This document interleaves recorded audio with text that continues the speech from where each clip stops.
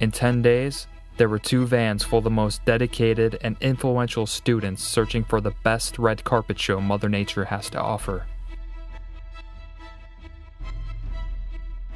From beginners to professionals, the chemistry between all of us grew into something magnificent.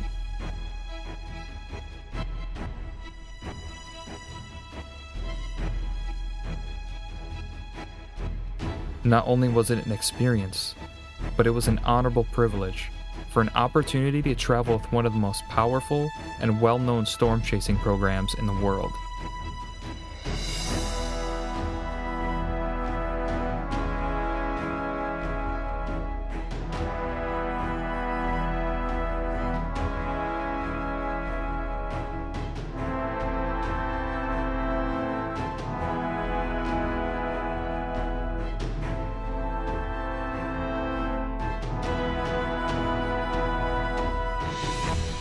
Trip 5 was directed by Victor Gensini, a meteorology professor at the College of DuPage that has been an atmospheric enthusiast and scientist for a quarter of his lifetime by putting all of his focus into learning more about climatology, severe convective storms, and new atmospheric behavior.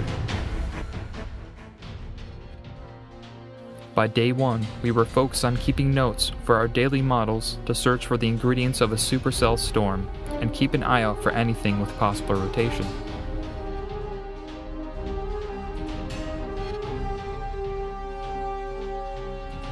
As a group, we took our time in the morning to discuss and decide where to hunt down the atmosphere next, due to what ingredients were in the air for us. Some days were more fortunate than others, however.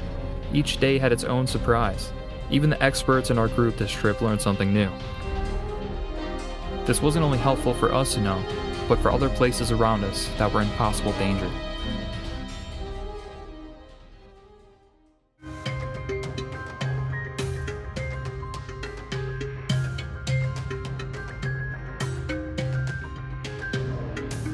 We came across some of the most beautiful sceneries we have ever laid eyes on.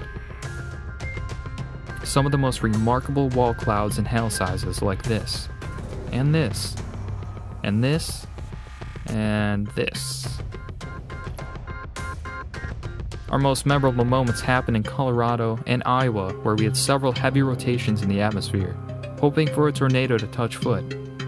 Although we didn't see a funnel touch the ground, we had several close calls that kept the excitement going for us as we learned more about the atmosphere and its mysterious behaviors.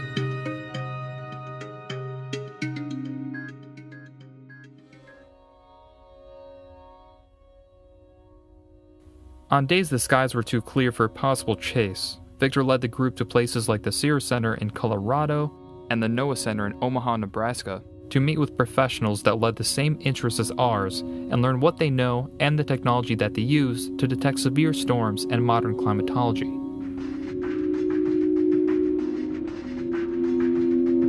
As we paid our respectful visits, it not only gained us for knowledge for the atmosphere, but they worked one on one with us to discuss our next destination.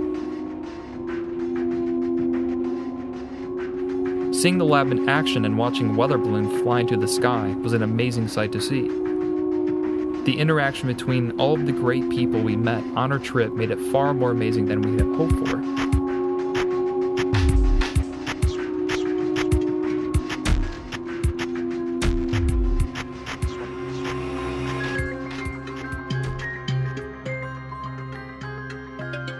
With everything that we had learned on this trip, nothing beats the view.